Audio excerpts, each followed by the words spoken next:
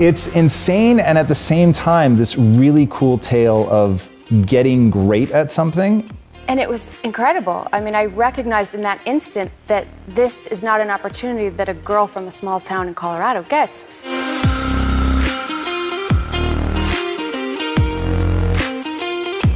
You might be wondering why I'm here.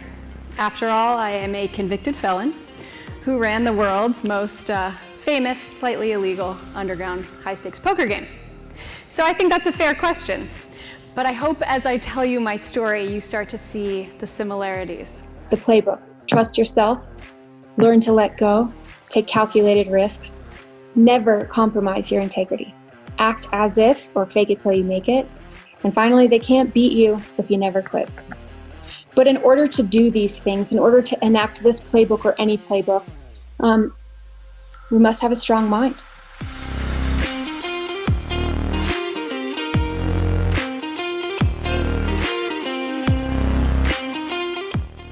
And so the lesson here is um, when you're in the gutter, when you're looking to grow, when you're looking to rebuild, to change, create a vision. Create that vision.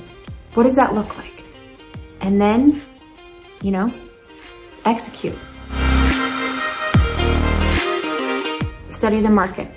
Look for small ways or big ways that you can that you can gain edge, whether that is adoption of tech, uh, going digital, or just excellent, excellent customer service that, that resounds on the streets and, and makes your customers, you know, brand loyal advocates of you.